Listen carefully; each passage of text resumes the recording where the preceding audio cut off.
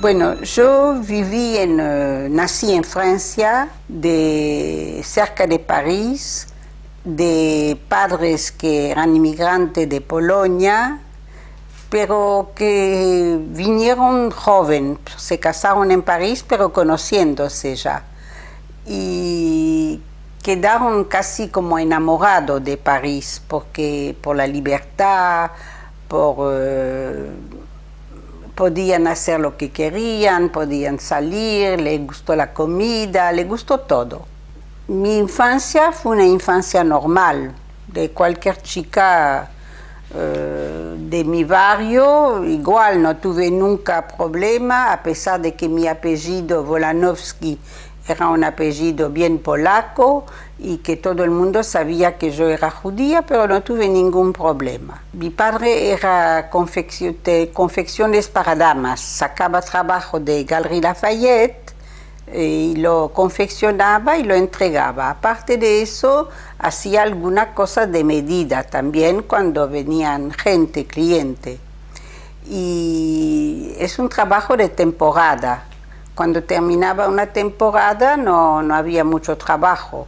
Y en verano era otra temporada que tampoco no había mucho trabajo. Entonces mi padres alquilaban una casita así un poco eh, en el campo, fuera de París. Mi mamá y yo tenía dos hermanitos eh, y nos quedábamos los tres meses de vacaciones afuera. Y vivíamos, eh, yo creo que vivíamos bien. Hasta la- el comienzo de la guerra tuve una vida completamente normal.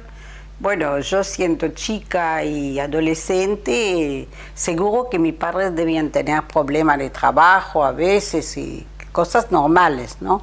Pero nada de persecución y de... Era en los años, mis padres vinieron a Francia en 1922 o 23. Y en aquellos años era después de la Primera Guerra Mundial, se necesitaba mano de obra. Entonces eh, estaban acogidos bien. Después cambió. Bueno, todo era así normal hasta el principio de la guerra, hasta la guerra, mejor dicho. Ya en 1938 eh, ya venía muchos refugiados de Alemania, en general hombres solos, que se escapaban porque habían perdido el trabajo, muchos médicos, abogados. Yo me acuerdo que eh, en casa vino un médico joven que pedía trabajo y mi padre dice que, que, que- ¿qué puedo hacer? ¿Qué sabes hacer? No sabía hacer nada de lo de confección. Entonces le enseñó a planchar para que pueda trabajar y ganarse unos pesos. Necesitaban para, para sobrevivir. Bueno, eso en 38 ya se sentía los altoparlantes, no había televisión y poca gente tenía radio. Grandísimo que había en la calle con los discursos así eh, agresivos y virulentos de, Hitler que hablaba, que iba a conquistar todo el mundo, yo que sé, no me acuerdo qué, pero me acuerdo todavía el sonido en los oídos de esa voz que tenía una voz muy fuerte. Debía ser un buen orador, pero era terrible la- de oírlo. La guerra empezó el 3 de septiembre de 1939. Nosotros estábamos de vacaciones todavía y muy asustados, los judíos principalmente por todas la- las leyes que, que Hitler prometía, por todo el trato que, prometía dar a los judíos, exterminarlo, etc. No se lo creía mucho, pero igual asustados. Y yo estaba en una colonia de vacaciones con chicos de mi edad y salió una ley del gobierno que la colonia de vacaciones no vuelven a París porque teníamos miedo que se va a bombardear, que se quede. Y me quedé hasta noviembre o diciembre allá, yo me acuerdo que no entramos en París. Bueno, mi padre sí. Eh, cuando la, la guerra empezó, los franceses fueron movilizados, mi padre no era naturalizado, había pedido muchas veces a ser naturalizado y siempre lo rechazaban porque él era muy flaco y no era apto para ser soldado. Entonces lo rechazaban porque lo que buscaban con la naturalización era, se llamaba carne de, cañón. Y mi padre enseguida se anotó como voluntario, como todos los eh, extranjeros se anotaron enseguida, porque querían luchar contra Alemania para evitarse todo lo peligro que prometía. Mi padre fue mandado también al sur de Francia, me parece que se llamaba Sept-Fonds, el pueblo. Y ahí se quedó un mes o dos y lo mandaron de vuelta a casa por eh, inapto. Empezó la guerra y se tenía miedo que iban a bombardear París. Los alemanes empezaron a ganar, a ganar. Entonces la gente de París se fue saliendo asustado, todos, judíos y no judíos, eh, de, saliendo de París para evitar bombardeos, no se sabía lo que teníamos, la gente tenía miedo. Bueno, mi padre no estaba, se ve que estaba todavía ahí haciendo el ejército y yo me fui con mi mamá y mi hermanita y una tía, porque yo tenía un hermanito que tenía casi dos años menos que yo, pero que en 1937 él salió corriendo, cruzando una calle y lo mató un colectivo. Así que en mi casa la tristeza empezó realmente ese fin de año 37, porque el, accidente pasó el 27 de noviembre de 1937. Bueno, nosotros llegamos a, subir a un tren porque la gente se escapaba, no se sabe dónde, dónde podía, y llegamos a una playa de Bretagne que se llamaba La Bol, que era una playa muy linda. Allí alquilamos algo y al fin de cuentas los alemanes llegaron allá. Pero mm, lo único que hicieron los alemanes cuando llegaron en... Eh, en un día o dos días desapareció todo. No se encontraba ni pan, ni chocolate, ni medias, compraban todo. Finalmente, eh, los, eh, los, alemanes invadieron París, París fue declarada ciudad abierta, quiere decir que no se bombardeó, y bueno, y nosotros regresamos a casa. Los alemanes invadieron París en 1940 40 pasó tranquilo, más o menos, hubo algunos eh, fusilamientos, eso, pero no eran a nivel eh, así importante, no era muy divulgado. Pero el 14 de, igual la situación había cambiado, no había trabajo, eh, había mucha gente ya que volvió de la guerra, muchos eran prisioneros. Los prisioneros judíos se salvaron de ser deportados, eso sí. Y el 14 de mayo de 1941, de repente, mi padre, como, todos los extranjeros, recibieron una nota de la jefatura de París eh, pidiéndole que se presente que se presente el 14 de mayo, lo recibimos antes, para, decía, acompañado de un familiar, pero no decían para qué. Y como la mayoría de los judíos que vivían en Francia estaban contentos de vivir tranquilo y creían en lo que decían todos los monumentos, todos los papeles, libertad, igualdad y fraternidad, tenían confianza y se presentaron. Se presentaron y ya no lo dejamos salir. Al contrario, yo fui con mi mamá, mi hermanita estaba en el campo, y nos dijeron de traer una frazada y los efectos, algunos efectos personales que lo iban a mandar en campo para trabajar. Bueno, no lo tomamos tan mal porque había muchos prisioneros y era normal que faltaba mano de obra, pero pensamos que lo iban a mandar o al campo o en fábricas o cosas por el estilo. Lo mandaron a un campo donde no lo trataron mal, eran más o menos 2.000 personas.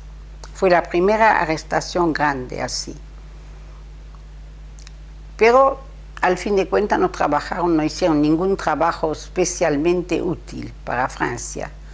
Sí, tuvieron que cuidar las barracas, eh, pelar papas, cuidar los caminos del campo, pero no lo trataron mal. Al contrario, eh, podían eh, salir al pueblo, era una ciudad cerca de París, chiquita, nosotros podíamos ir a verlo una vez al mes, le podíamos mandar paquetes, recibíamos cartas, eh, pero estaban eh, encerrados allí, no podían eh, viajar libremente ni nada. Pero no eran tan encerrados porque en, en el mes de abril o mayo de 1942, mi padre con un amigo salió al pueblo, dijo, para comprar cigarrillos y se tomaron un colectivo y se vinieron a París. Bueno, mi padre no podía estar en mi casa porque si lo venían a buscar lo encontraban enseguida. Entonces primero fue, se escaparon, ¿no? Fui a la casa de una tía mía, eh, cual marido era prisionero, pero allí se quedó poco, qué sé yo, ocho días o algo así. Mi tía empezó a tener miedo, porque los parques en París se ve que son finitos y cuando uno caminaba el vecino de abajo sentía. Como ella vivía sola y de repente otra persona se siente cuando hay más ruido, a pesar de que le se quitaba los zapatos y se cuidaba, y empezó a tener tanto miedo que mi papá, para no perjudicarla, yo ni lo vi cuando él se escapó en ese tiempo, porque teníamos miedo de tener contactos personales para que no lo encuentre. Bueno, y fue a la casa de una amiga que marido también era prisionero, y allí pasó lo mismo. Entonces yo no sé si se llegó a quedar en París dos, tres semanas y al fin eh, pagó a una persona para volver al campo. Imagínense para constituirse prisionero de vuelta, porque tenía miedo que si lo arrestan lo van a matar. Bueno, finalmente eso pasó, digamos, en el mes de mayo de 1942. Y el 28 eh, de junio de ese mismo año, 1942, eh, los encadenaron, eso fue una cosa muy brutal, y lo llevaron a la estación de ferrocarril, lo pusieron en trenes, pero no en los trenes comunes, en los furgones donde van los animales, que decían 40 caballos o 38 vacas, o qué sé qué, los apilaron allá, tanto apilado que después me contó mi marido, que también fue en este campo, con cuatro hermanos que se veía diariamente, que los apilaron tanto que se perdieron en ese vagón que ya no se encontraron más. Y cuando pasaba en las estaciones que paraba, le pedían agua, agua a la gente o a, la Cruz Roja. Mientras que cruzaron Francia, le tiraron agua con manguera, porque era prohibido, no se podía acercar. Pero había gente de buena voluntad que igual se arriesgó. Pero cuando cruzaron Alemania y Polonia, la Cruz Roja directamente le gritaba que ellos no estaban para ayudarlos a los judíos. Así le gritó la Cruz Roja. Eso me lo contó mi marido. Y llegaron a Auschwitz. Bueno, allí era dramático. Yo no fui, pero mi marido contó, escribió varios libros y era realmente el infierno. Nosotros nos quedamos en casa, estábamos muy preocupadas, pero mi papá escribió una carta, la última carta donde decía que, que casi estaba aliviado porque iba a Alemania para trabajar, que los alemanes eran todos movilizados, también era una cosa que podía ser normal, porque faltaba mano de obra. Pero nadie pensó a dónde lo llevaron, porque era una cosa que no cabía en la mente humana. Bueno, lo que nos llamó la atención que no, nadie recibió cartas, ni una vez. Decíamos, puede tirar una carta o algo, yo qué sé, a lo mejor estaba prohibido, pero nadie recibió noticias. Los alemanes se ponían cada vez con más decreto contra los judíos, entre tanto nos habían impuesto haciendo cola que todos los judíos se presenten tal día y nos dieron una estrella donde decía judío, juif en francés, y que teníamos que tener cosido arriba de la ropa. Y en la cola donde yo estaba con mi madre y mi hermanita, había un cura, dos personas atrás de mí. Entonces yo le dije a mi madre así despacito, mira mamá, hay un cura acá. Y él escuchó. Entonces él se acercó a mí y dice, sí, mi hijita, yo estoy acá porque mi abuela era judía, porque ellos decían las leyes alemanes, hasta la tercera generación. Bueno,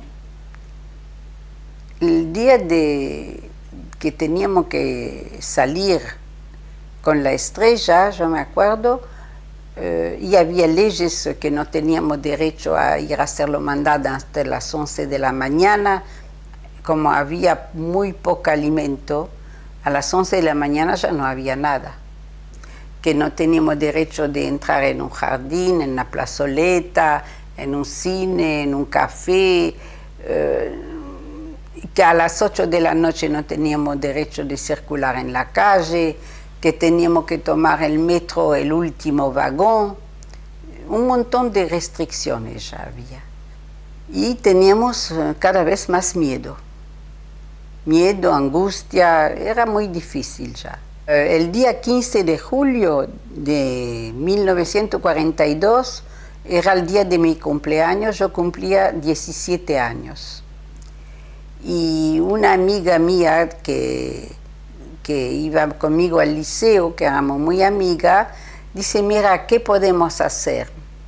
Festejarlo no, no, no podíamos. Eh, hacer una torta si había un poco de alimento no era para hacer tortas. Entonces dice, bueno, era en verano, vamos a pasear. nosotros vivíamos cerca de un boulevard muy lindo. Bueno, era verano, teníamos una blusa cada una y ahí cosido la estrella que decía judío. Caminamos bastante eh, despreocupada porque éramos jóvenes y qué sé yo. Y de repente, enfrente de nosotros, vienen dos muchachos de la edad nuestra.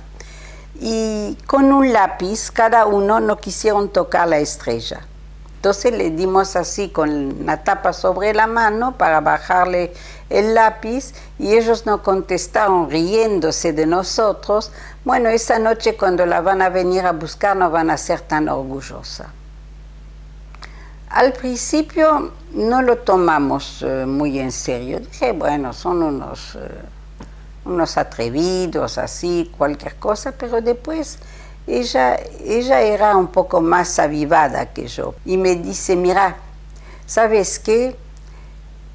Vamos a decirle a tu madre y a mi padre lo que nos pasó con esos muchachos y vamos a ir a dormir a la casa de una señora que le hacía terminaciones a mano del trabajo de los padres que hacían tejido de punto, fabricaban tela de jersey así, y vamos a estar juntas. Eso fue la idea nuestra. Bueno, cuando yo llegué a la casa de mi madre que le conté, ella sí lo tomó muy en serio y se asustó muchísimo. Dice, sí, sí, vayan, vayan, porque eh, siempre se, se, toma primero los hombres y los jóvenes y se asustó. Y yo le dije que venga conmigo y ella dijo, no quiero ir porque ella había ido a buscar a mi hermanita ese día al campo y mi hermanita era así un poco delicada y vomitaba en el camino y no se sentía bien. Dice, no, no, vayan y déjame la dirección y estaba tan nerviosa que me dijo que le escriba en la pared de la cocina que estaba pintando con una pintura que se lavaba. Yo dije, mamá, dice sí, sí, porque si me lo escribís en un papel estoy tan nerviosa que me tengo miedo de, de perderlo. Bueno, y me dio, me acuerdo, manteca, queso blanco y alguna cosa que había traído de afuera y dice, vaya, vaya enseguida. Bueno, nosotros nos encontramos a la casa de esa señora y la señora contenta que le traje las cosas esas de comida. Lo único que nos pidió que nos saquemos los zapatos, porque como también ella vivía sola, una señora mayor no quería que los vecinos sienten cosas raras. Al otro día de mañana, cada uno dijo, bueno, vamos a ir a la casa. Y yo de repente me encuentro con una vecina, que era una señora así gorda y, que era la, la, única vecina con quien nos llevábamos un poco mejor. Y me dice, ¿dónde vas? Y yo digo, bueno, voy a mi casa. ¿No? sabes lo que pasó esa noche, toda la noche vinieron gente golpeando, gritando, eh, se sintió eh, gritos y llorar.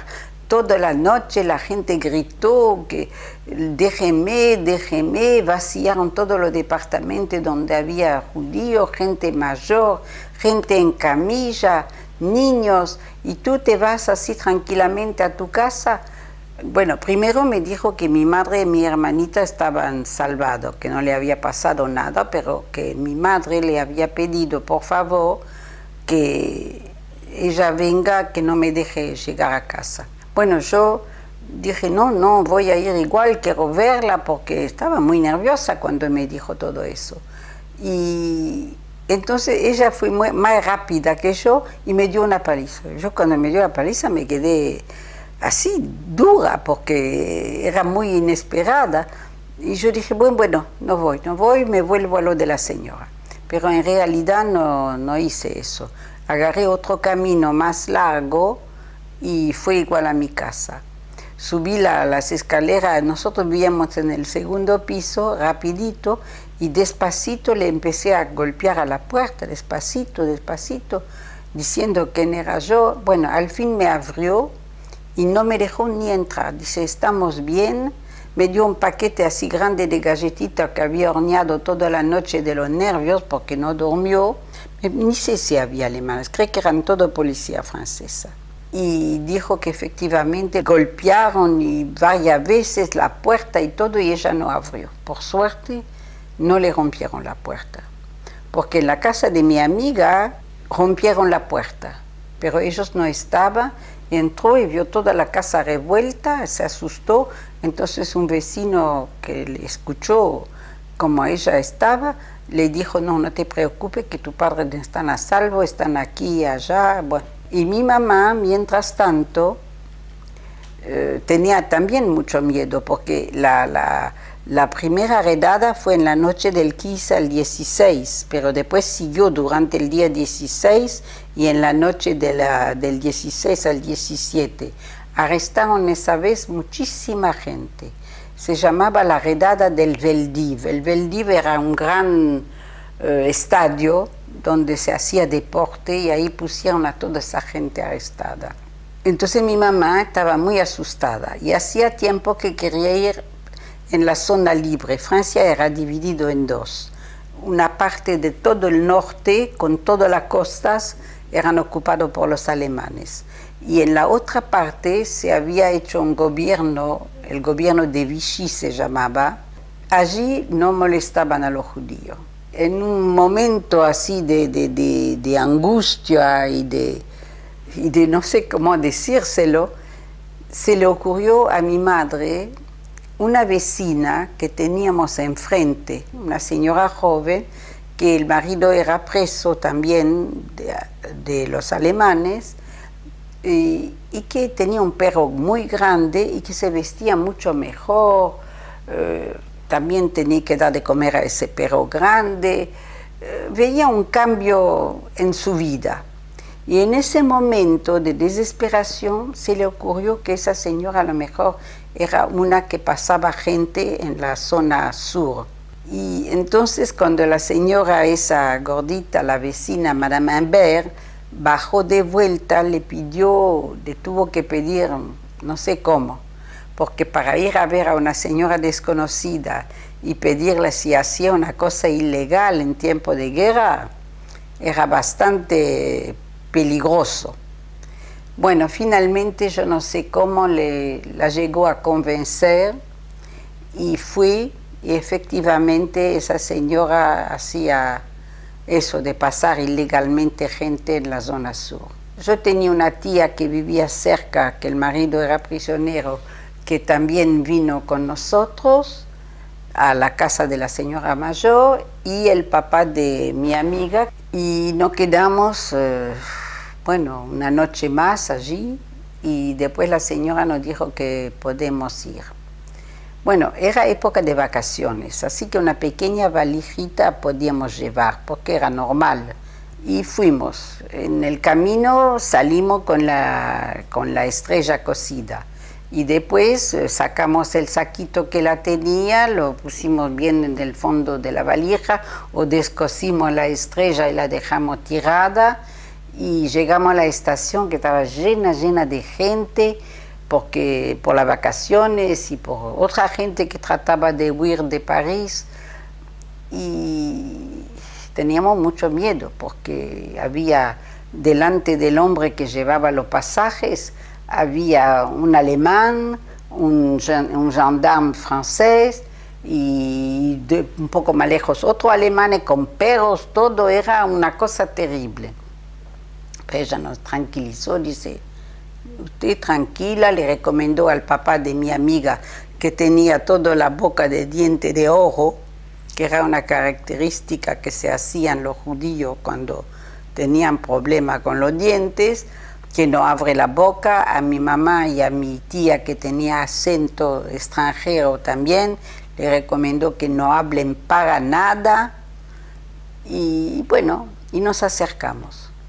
Y ella tenía una estrategia no sé qué le hizo al perro, que cuando llegamos, el perro empezó a saltar sobre el perro del alemán y se empezó a hacer mucho ladrido, mucho grito y estaba tan nervioso el alemán que nos empujó así, todo un montón de gente, Ros, Ros, nos empujó sin pedir cédula, sin pedir nada. Y fue una suerte, fue un milagro. Bueno, entramos en el tren, lleno de gente, que nos tuvimos que poner entre dos eh, trenes que hay esos sopletes. Y ahí también pasó un pequeño milagro, porque en la clase donde íbamos mi amiga y yo, había una sola chica que el padre era un comisario. Quiere decir de, que él trabajaba en una empresa judía y los judíos habían perdido el derecho de tener empresas, ni negocio, ni empresa, ni nada. Entonces él lo pusieron de comisario, se llamaba, que él era como el dueño y teníamos miedo porque ella sabía que éramos judíos, que no teníamos derecho de, de, pasar la línea ni nada. Y la miramos, mi amiga y yo, así bien a los ojos de repente nos hizo una sonrisa, entonces entendimos que no va a decir nada. Bueno, viajamos y nos llevó en el andén cerca de dos hombres jóvenes y dice, bueno, ellos son de la región esa, ellos lo van a pasar. Y nosotros nos asustamos, dijimos, no, venga con nosotros, le teníamos confianza a ella, yo qué sé, todo, era miedo y angustia. Y ella cruzó el andén con el perro para volver a París. Ellos nos pusieron en una camioneta así cerrado, todo amontonado. Viajamos muy poquito y ya se hizo casi la noche. Cruzamos eh, un campo liso primero, después entramos en una zanja que estaba lleno de, de cosas que nos pinchaba, nos arañaba y nos pusieron ahí y dijeron que ahí no podemos hablar ni casi no respirar, que tenemos que esperar hasta la señal que ellos nos van a dar para cruzar, porque ya estamos en la línea y veíamos pasar las patrullas entre alemanes con el fusil, cada, qué sé yo, cada 10, 15 minutos pasaba una patrulla. Apenas si respiramos. En un momento dado nos hizo seña que ya. Entonces él pasó, un muchacho pasó primero con mi mamá y mi hermanita que tenían nueve años más o menos. Después pasó el otro con mi tía y el papá de mi amiga. Y después nos pasamos nosotros dos, mi amiga y yo sola, siguiendo. Llegamos del otro lado y ahí nos eh, arrestaron policía francesa, pero de la, ya de la parte libre de Francia. Nos eh, pidieron la cédula, teníamos la cédula que decía judío, pero ellos estaban acostumbrados, no sé si eran arreglados con los muchachos, nos llevaron a un hotel y dijeron que, bueno, que no quedemos allá hasta que ellos nos avisen. Ya era de mañana. Bueno, lo primero que teníamos ganas, mi amiga y yo, era de lavarnos, lavarnos, lavarnos. De los mosquitos, de los arañazos, de la, del miedo, creo que también. No, me acuerdo que nos lavamos como una hora. Bueno, después que nos lavamos bien, empezamos a tener hambre, no solamente nosotros, todos. Entonces mi mamá le preguntó al policía que estaba abajo si podía ir a comprar algo de comida. Dice, sí, vaya acá nomás, no se entretenga mucho y vuelva. Y me acuerdo que compró pan, uvas, pera y nueces, creo. Bueno, y eso comimos cerca de las 10 o 11 por ahí vino un otro policía y nos eh, puso en un coche y nos llevó a un pueblo que se llamaba Confolent y que era cerca de Limoges. Un pueblito lindo, chico. Bueno, ahí alquilamos eh, dos piezas, una mamá, mi tía y yo y mi hermanita, y otra para mi amiga y el, eh, y el papá. Había, no había mucha comida tampoco, pero mi mamá era una señora así con mucho eh, coraje, entonces ella iba de mañana temprano a los alrededores, compraba leche, manteca, pollo, bueno, y nos arreglamos. Bueno, pasó un tiempo y un día vino unos policías y arrestaron a mi tía y al papá de mi amiga. Y nosotros nos quedamos un poco más, mi mamá y mi hermanita, y después nos llevaron a otro pueblo porque como mi mamá era extranjera, tenía residencia obligatoria, quiere decir, podíamos eh, movernos todo, pero no podía, eh, tenía que ir todo una vez al mes en la alcaldía afirmar que estaba ahí. Nos llevaron a otro pueblo, también no muy lejos, que se llamaba Emoutier. Ya empezaba a venir el otoño y alquilamos, había un hotel grande allí donde era lleno de refugiados de Alsace-Lorena. Y eran todos judíos, eso que se habían escapado. Bueno, quedaba una pieza libre, la alquilamos y pronto empezó la escuela, pero había solamente una escuela primaria que mi hermanita empezó a ir. Y yo estaba dando vuelta ahí un poco aburrida hasta que encontré una chica un año mayor que yo, que dijo, bueno, vamos a ir a Limoges si querés, vení conmigo, vamos a ver si encontramos alguna, o para estudiar, o para trabajar, para hacer algo.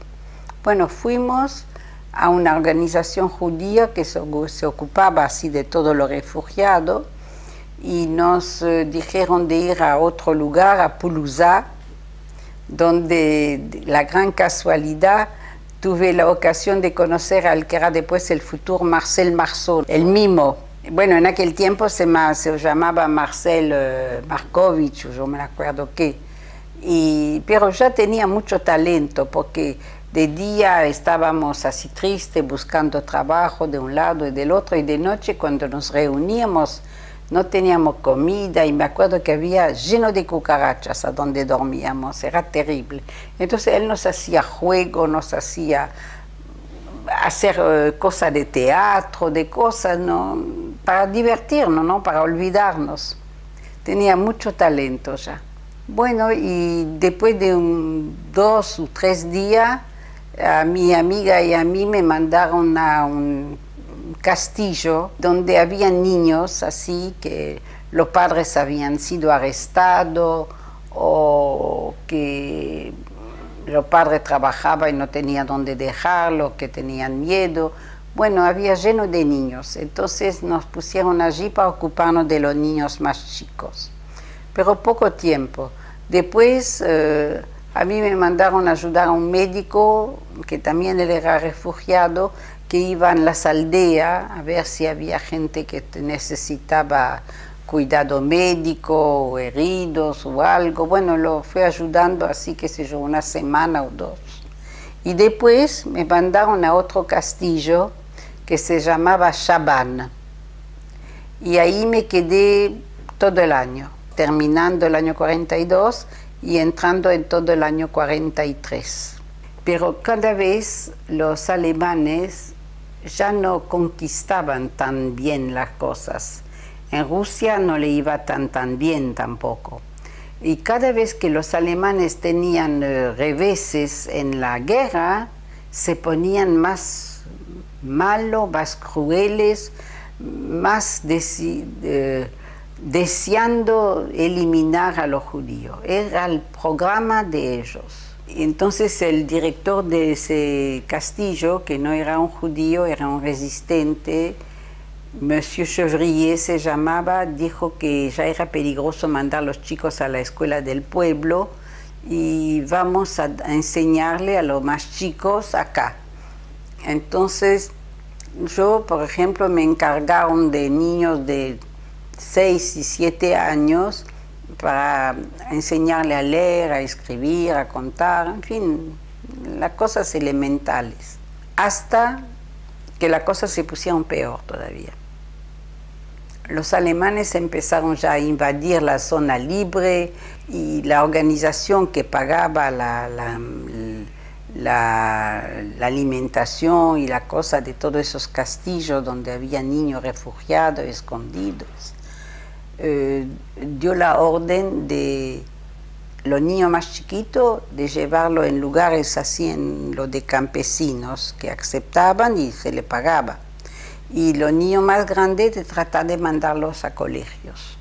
Los niños chiquitos no tenían cédula, pero tenían carta de alimentación donde era lo que podían comprar de pan, de azúcar, de, carne, de leche, qué sé yo. Eso era muy necesario, sin eso no se podía comer. Y con un líquido especial que nos dieron lavábamos los nombres y le pusimos nombre inventado muchas veces, que empezaba con la misma letra y que tenía la misma cantidad de, de letra y si el nombre era un nombre que podía pasar, lo dejamos. Si el nombre era un nombre típicamente judío, lo teníamos que cambiar. Eso era más complicado porque los chicos, eh, si se le cambiaba el nombre, era muy difícil hacerle entender. Y yo mismo llevé mucho grupo de niños, de cuatro o cinco niños, no había que llevar demasiado para no llamar la atención porque ya en los alemanes circulaban en los trenes, en la zona libre, en toda parte, y yo siempre pedía cerca de donde estaba mi mamá y mi hermanita para pasar unas horas con ellas. Bueno, cuando terminamos de distribuir a todos los niños pequeños, eh, quedaba un grupo de varones grandes que lo mandaron a un colegio, a un internado de varón, y de chicas y nos mandaron a un internado en un colegio de señoritas que se llamaba en Bourganeuf. Y bueno, nos quedamos allí en ese colegio, la directora sabía que éramos judías y a todo el mundo le dijimos que éramos refugiados de Lille. Nosotros también nos cambiamos la identidad y bueno, y estudiamos. Era un colegio pago, que no todo el mundo podía ir, así que la, las chicas que estaban eran de una posición económica más o menos buena y recibían paquetes de la casa, que ni comía la comida de, lo que nos servía. Comían eh, jamón, pan blanco, manteca, queso, yo qué sé. Pero nunca, nunca nos ofrecieron algo. Ella sabía que éramos refugiadas, no sabía que éramos judías.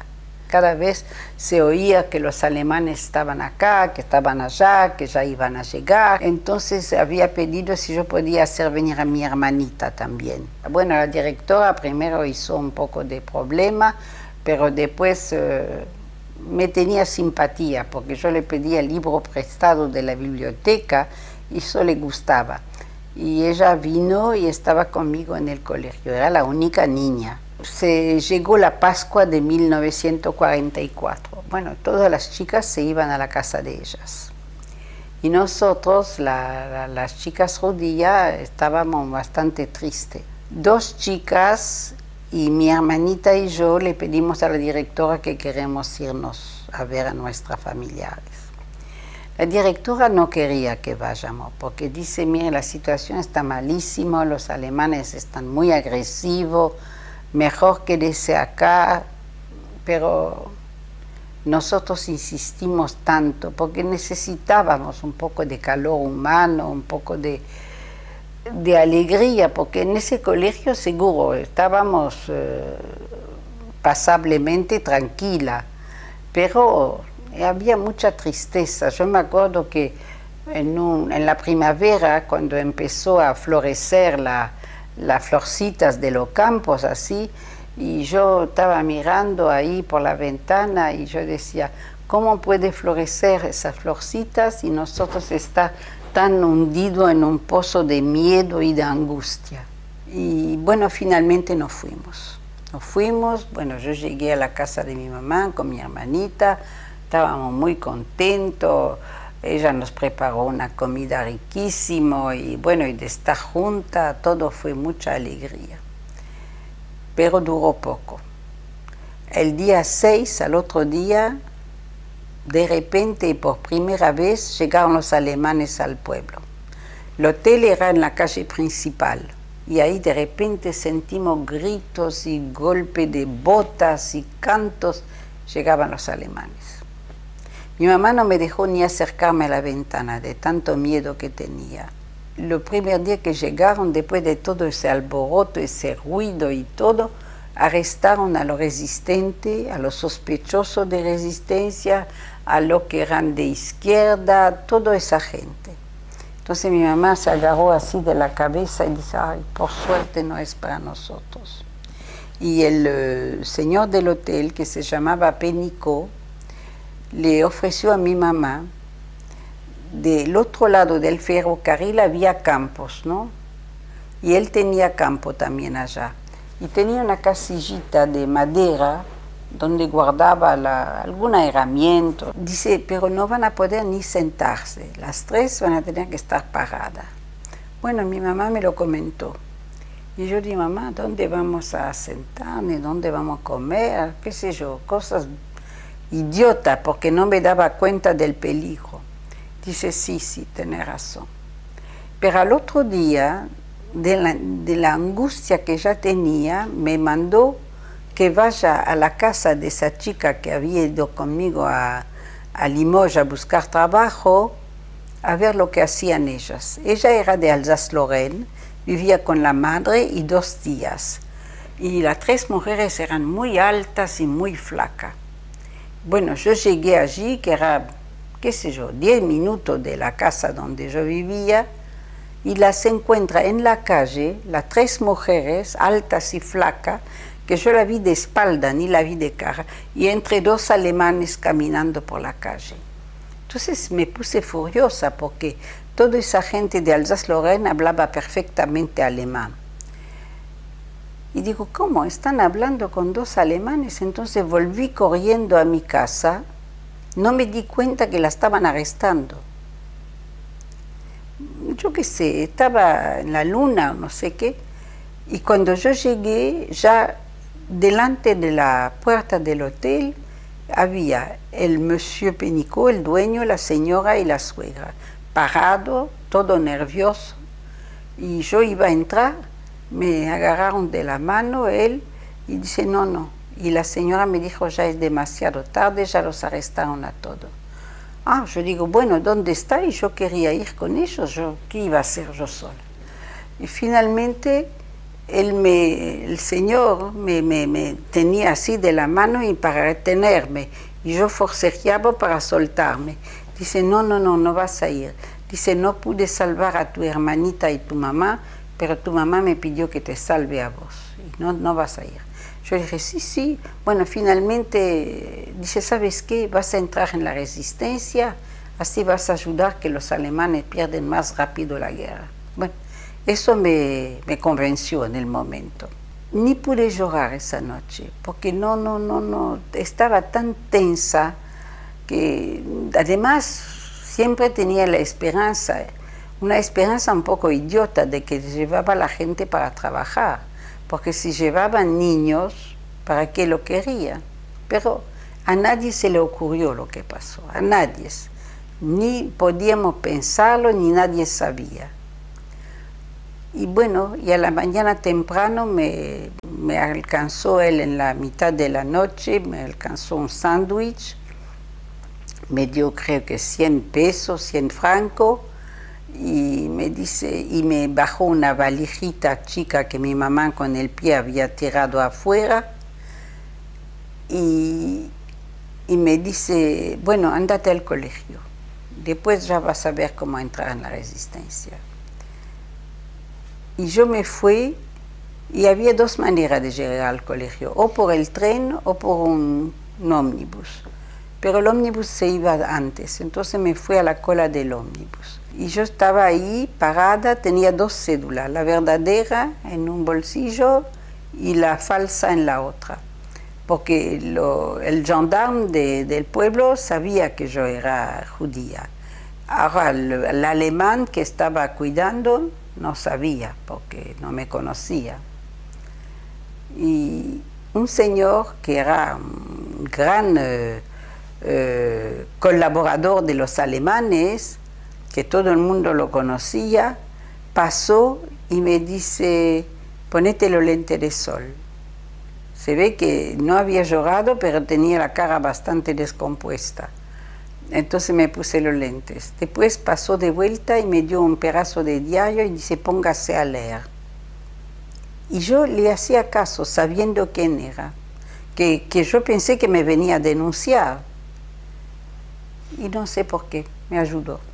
Bueno, yo estaba esperando, haciendo la cola, de repente la, señora que estaba delante mío eh, se le suelta una gallina. Entonces ella trata de agarrarle, se hace un cacareo, las plumas empiezan a volar y el alemán que estaba con el francés empezó de empujarla a ella, a mí y a dos personas más detrás mío.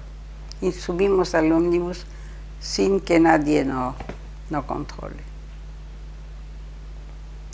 Bueno, así pasó. Eh, yo, yo iba a la estación más lejana y en cada estación había gente de los pueblos que venía a la parada del colectivo y le decían, miren, no vaya más lejos que están eh, requisicionando los coches. Bueno, al fin de cuentas él empezó a asustarse y cuando ya no había más gente que yo en el, eh, en el colectivo, me llamó y me dice, mire señorita, yo no voy más lejos. En el próximo pueblo me paro. Yo digo, ¿y qué voy a hacer? Dice, me miró, me dice, mire, es un día lindo. Usted es joven, vaya caminando, me dijo. Bueno, me bajé y tuve otra suerte, que dos chicas del colegio, que iban a ese colegio, que estaban en mi clase, estaban ahí sentadas mirando cómo llegan y van y vienen los ómnibus. Y me dice, ay, ¿dónde vas? Y yo digo, vuelvo al colegio.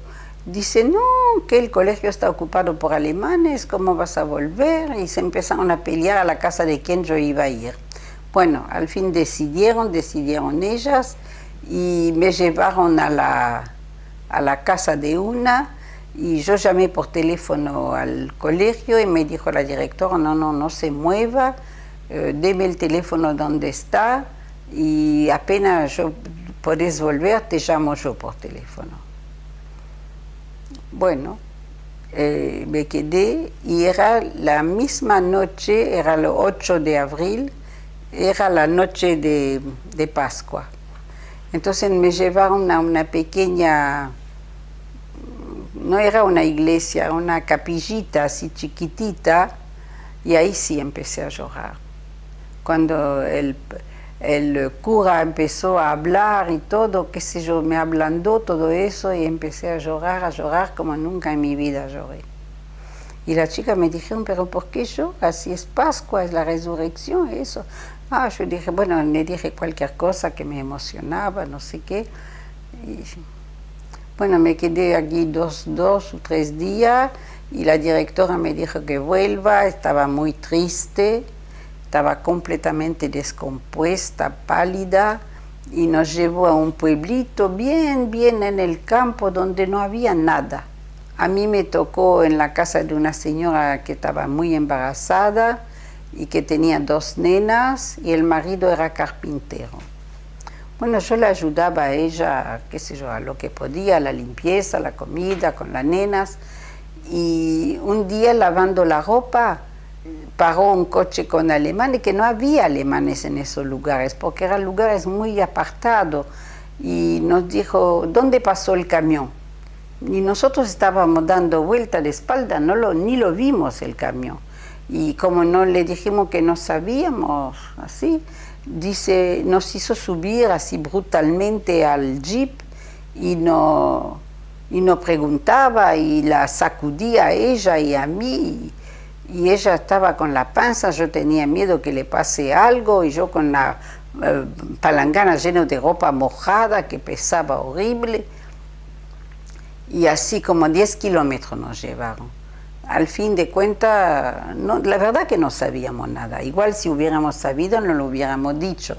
Y bajamos, nos bajaron, bueno, volvimos y el señor, el marido de esa señora, siempre me preguntaba si yo conocía personas judías, porque salían diarios con caricaturas terribles, así con las orejas despegadas, con la nariz ganchuda, el pelo así todo enrulada, una caricatura terrible de los judíos. Y me dice, yo dije, entonces tanto me preguntaba, preguntaba, yo dije, sí, en mi clase en Lila había una chica judía. Y me dice, ¿era como esas de la foto ahí? Yo dije, no, era como usted, como yo, normal. Bueno, y una noche me, me habló y me dice, mire, va a venir conmigo a ayudarme a, llevar algo a un cliente. fue con él y resulta que en el camino me dijo, no, no vamos a ningún cliente, vamos a un parachutage, se llamaba que en una parte sin árboles eh, caía un paracaídas sin hombre, hombre nunca vi, y traía armas, eh, mensajes, eh, varios paquetes, que había que ser bastante gente para sacar todo rápido, doblar el paracaídas, esconderlo, llevarlo, porque como el paracaídas era blanco, en la noche se veía y los alemanes sabían que tiraban paracaídas, entonces buscaba. Y fui así varias noches ahí y me dijo, no hable nada a mi mujer. Si ella le pregunte, usted me ayuda a arreglar algo en lo de un cliente, cualquier cosa. Él me decía lo que tenía que decirle, porque ella es muy charlatana y va, va a hablar demasiada. Y fui varias veces así y una noche me dijo que pasó un, desastre porque los alemanes descubrieron dónde caía y maltrataron a los dueños y como no dijeron nada, le quemaron la casa, los animales y lo mataron. Y ellos tenían una hija que iba conmigo al colegio. Y cuando volvió se encontró con eso y bueno, quedó muy, muy mal. Le dijo que ella entre a trabajar en la resistencia, que así ella va a vengarse. Bueno, eso le gustó y entonces eh, ella iba conmigo haciendo de mensajera. Nos daban, por ejemplo, una canasta con huevos, con manteca, con leche, qué sé yo qué, para llevar a tal lugar. No sabíamos nada, ni teníamos que preguntar. Y si preguntamos no nos decían igual. Y si teníamos que saber de dónde venía y a dónde la llevamos. Bueno, una vez nos arrestaron un jeep con alemanes y nos dijeron dónde van. Y le dijimos, hay una señora mayor, sola, que no puede atenderse, que tal persona le manda un poco de comida. Ah, qué comida, empezaron a mirar los huevos y eso dijimos que cuidado que no rompan los huevos porque se ve que el mensaje estaba en un huevo. Se ve que le hacían un agujerito chiquito. No sé, va, una suposición porque no sabíamos nada. Y cuando menos sabíamos, mejor era. Porque si nos arrestaba y nos torturaba, solamente podíamos inventar. Y fuimos así todo el tiempo a llevar mensaje, nunca llevamos armas. Eh, siempre eran mensajes, dejar algo o traer algo, siempre así. El 14 de julio es la fiesta nacional francesa y en ese pueblito había una especie de monumento donde estaban escritos los soldados muertos en la guerra de 14. Y era el lugar como, bueno, para reunirse en un momento así. Y me habían dado a mí un ramo de flores para depositar allí eh, en memoria de los soldados caídos. Y de repente vino un señor, no del pueblo, diferente, vestido así con una blusón de cuero, botas, pero civil, ¿no? Nada de militar. Y me empieza a hablar y me pregunta de dónde soy, porque dice, usted no es de acá. Yo digo, bueno, si me lo dice, yo ya no podía negarlo. Entonces yo digo, no, no, yo soy refugiada de Lille y soy refugiada acá. Ah, sí, y me mira así en los ojos y me dice, ¿y sus padres dónde están? Y digo, bueno, mi padre es prisionero y estaba tratando de inventar algo para mi madre. Y me mira así de envuelta y dice, ¿es judía? Y yo le digo que sí, a un desconocido. Y son esas cosas que suceden en la vida y dice, no sabe lo que pasó con, la, con el humo. Yo digo, ¿qué humo? Dice, ¿y dónde está su padre? Entonces le, dije la verdad después. Yo dije, los arrestaron. Ah, están arrestados, están en campo, en campo, me dijo. ¿Y el humo? Y yo digo, ¿el humo de qué? ¿De fábricas? como vivo que yo no sabía nada, dice sí, sí, de la fábrica sí se fue. Pero me llama la atención que le dije a un desconocida que era judía en aquel momento. Y eh, de repente pasó unos alemanes corriendo, que se escapaban de algo. Y un señor mayor, que estaba también ahí, pero más lejos así, empezó a decir Vive la France y empezó a cantar la marsellesa. Entonces el alemán que estaba corriendo, huyendo, se dio vuelta y lo mató. Huyendo y todo se dio el trabajo de matarlo. No, eran muy, muy agresivos los alemanes a lo último. La nena más chica, que tenía 11 años, estaba en una casa de una señora que la, era muy cariñosa con ella. Y entonces un día esa chica se puso a llorar cuando le dio el beso de la noche. Y dice, ¿y por qué lloras? Dice, porque estoy pensando en mi mamá, ¿dónde estará? Y dice, ¿dónde piensa que está? Y dice, yo no sé porque fue arrestada. Y le contó la verdad, que éramos todos judías, escondidas y toda la historia. Quiere decir que toda la gente del pueblo, de los vecinos, entre ellos, donde estábamos nosotros, sabía que éramos judíos. Y la única que no sabíamos la verdad éramos nosotros. Pero se portaron bien, no hubo ninguna diferencia ni nada. Y yo pienso que por eso ese señor a cada rato me preguntaba de los judíos. Bueno, yo me fui con esa chica, nos fuimos en otro stop, no teníamos plata ni nada. El camión que nos llevó nos dejó en Limoges y yo digo, ¿y ahora qué hago?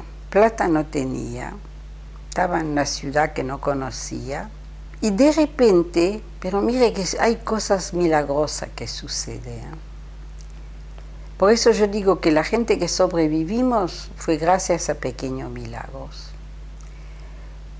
De repente me acordé que la tía que habían arrestado, que cruzó la línea de demarcación con nosotros, ella hacía poco que había venido de Polonia y no hablaba nada francés.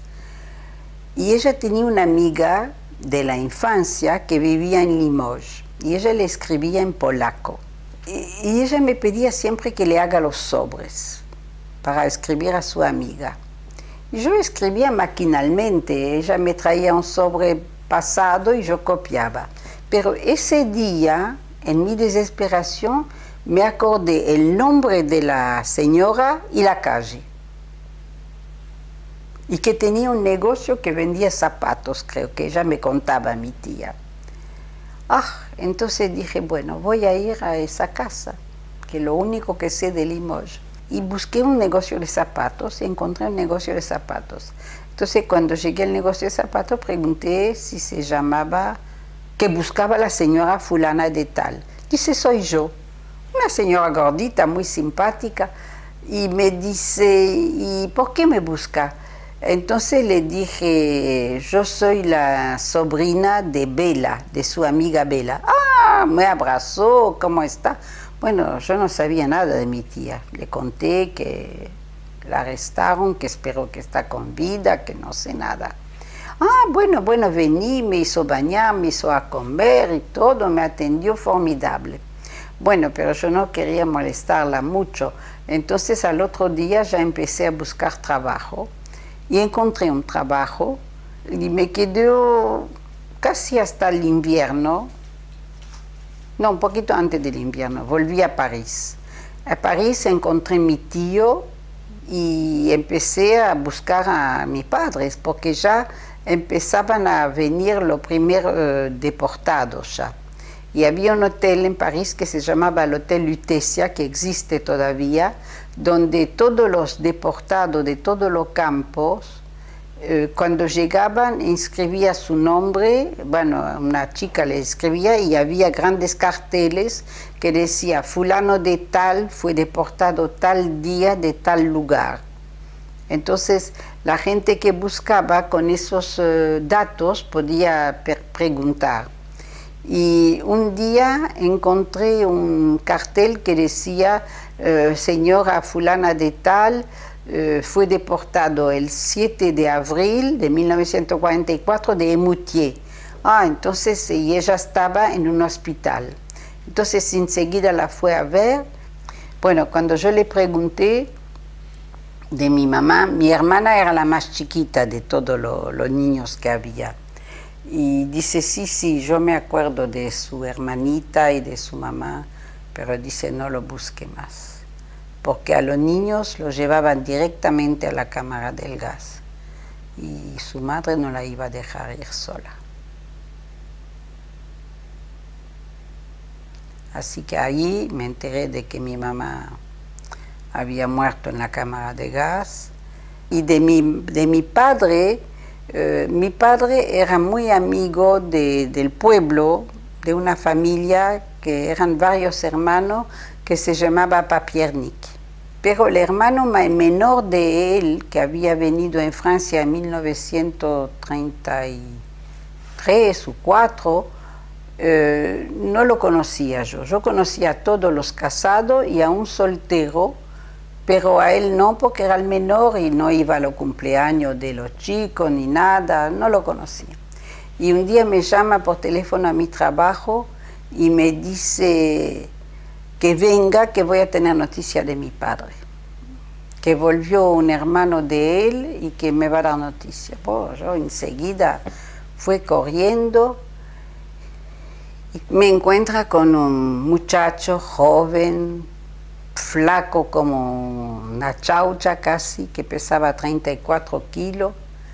Y bueno, y me dice que él estuvo en el mismo campo de Bon-la-Rolande y después que lo deportaron con sus hermanos, que sus hermanos no lo volvió a ver y que tiene una mala noticia para darme. yo ya cuando me dijo eso ya me imaginé, pero igual no, la imaginación y la verdad son cosas diferentes. Y me dice que no lo busque más en el hotel, decía mi padre, porque murió de casualidad entre sus brazos. Quiere decir que le pidió un poco de agua y mientras que él buscaba dónde conseguirla, falleció.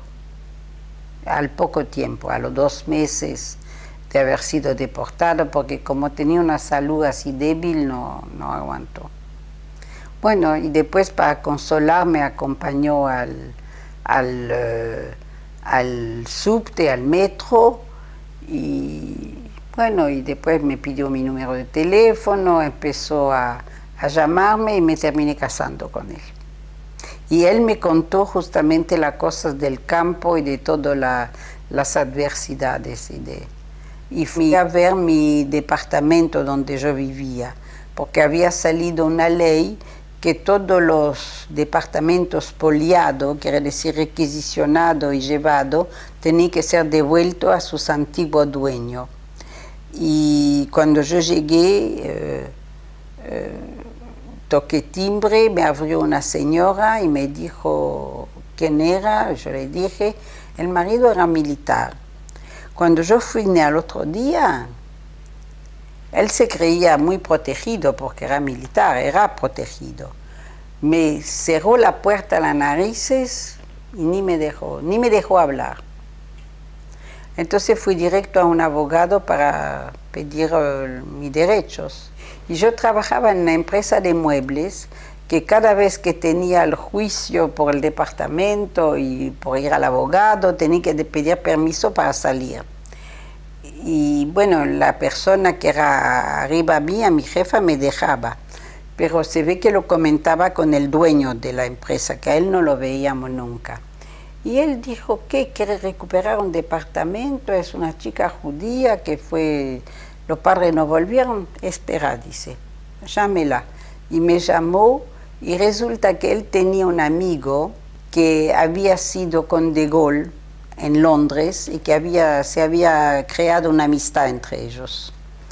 Entonces eh, le pidió que me haga una carta de recomendación y firmada por De Gaulle. Y la tuve. Bueno, cuando yo obtuve por, la, por el derecho que lo expulsa al militar ese, pero no quería que lo expulse. Entonces lo fui a ver y le dije, bueno, si usted necesita más tiempo para encontrar algo, eh, está bien. Y me cerró la puerta a la nariz, me dice que me va a hacer un pogrom, que, que malísimo se portó. Bueno, y unos días después se ve que él también buscó recomendación y recibió también una carta de recomendación que lo dejen en el departamento porque tenía una esposa, una hija y yo era soltera. Y firmado por De Gaulle. Entonces me, convocó el prefecto de París, que era una personalidad, una oficina todo con sillones rojos, alfombra rojo, muy impresionante, y me hace sentar y me dice, señorita, tengo un gran problema. Tengo dos cartas acá. Dice, las dos firmadas por el general de Gaulle. Una me dice que le restituye el departamento según los derechos y el otro me pide que la deje el señor que está con una familia. ¿Qué hago? Ahí me pregunta. Y yo cuando me dijo toda esa cosa, no soy de llorar fácilmente, porque lloré bastante por cosas graves.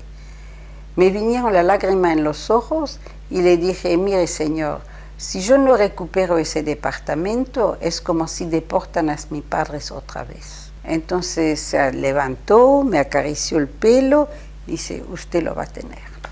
Y así fue.